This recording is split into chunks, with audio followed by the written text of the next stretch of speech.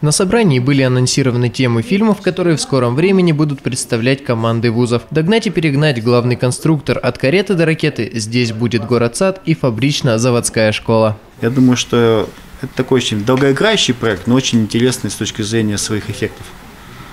Поэтому он возник спонтанно, вот на, на волне того, что на Урале раз, раз, зародилось такое движение большое по популяризации рабочих профессий, популяризации мастерства рабочего. Фестиваль проводится не в первый раз. В этом году он претерпел небольшие изменения. Все они нацелены на то, чтобы исправить ошибки, допущенные в прошлом году.